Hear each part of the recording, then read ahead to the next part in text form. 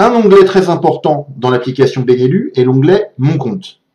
Lorsque vous cliquez dessus, cela vous donne la possibilité d'éditer vos informations personnelles et en particulier l'adresse email sur laquelle l'application vous enverra des notifications.